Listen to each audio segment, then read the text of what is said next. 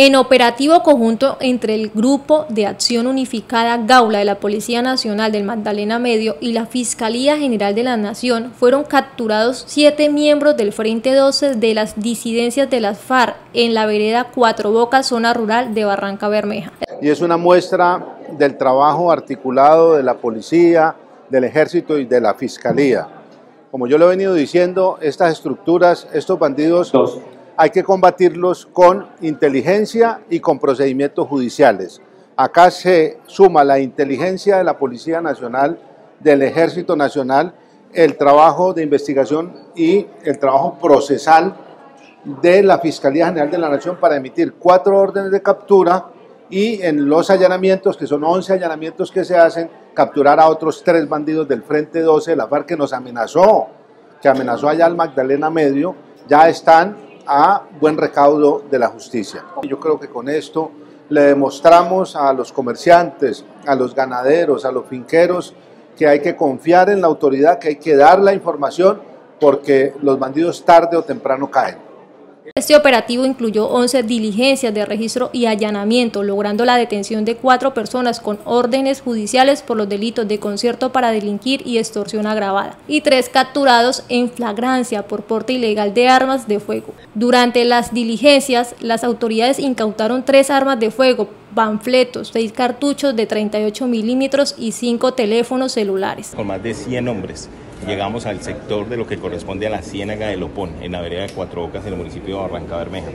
con las tropas realmente con policía, con fiscalía y tras un año de desarrollo de tareas de inteligencia y judicialización, hemos logrado llegar durante las últimas horas para continuar desarticulando el autodenominado Frente 12. Durante el último año ya se han realizado cuatro operaciones mediante las cuales se han dado golpes, golpes contundentes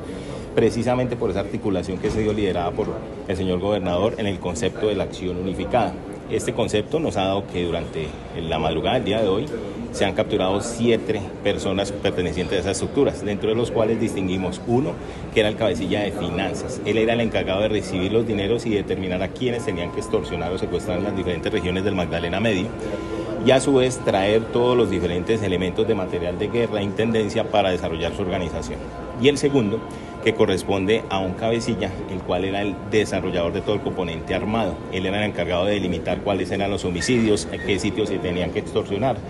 cuáles eran los sitios de apoderamiento de hidrocarburos que tenían que desplegar a lo largo y ancho de la jurisdicción. Con este golpe continuamos de la mano de nuestra policía, de la mano de nuestra fiscalía, de la Fiscalía 14, adscrita al Grupo Gaula, precisamente desarrollando una cadena de golpes para mitigar esos factores de extorsión e intimidación que se están dando a lo largo de la jurisdicción. Entre los capturados se encuentra alias Juancho, señalado cabecilla militar de esta estructura, quien se dedicaba a extorsionar a empresarios, ganaderos y contratistas de Ecopetrol mediante panfletos y videos enviados por redes sociales. Según informes de la Policía Nacional, en este mismo hecho fue capturado el presidente de la Junta de Acción Comunal de la vereda Cuatro Bocas. Hemos logrado ya este gran eh, evento operativo dando quiebre a las finanzas criminales de estos delincuentes que gestaban entre 50 y 100 millones de pesos mensualmente a través de extorsiones que generaban al sector de empresarios, comerciantes, ganaderos, agricultores. Aquí hay algo de resaltar, que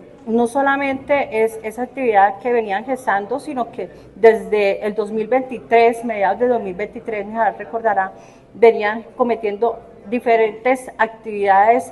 eh, terroristas, eh, pseudopolíticas, generando terror en algunas comunidades. Eso es importante decirlo porque con esto vamos a dar todavía más contundencia a las acciones operacionales. Los capturados serán puestos a disposición de la Fiscalía para enfrentar cargos por concierto para delinquir, extorsión agravada y porte ilegal de armas.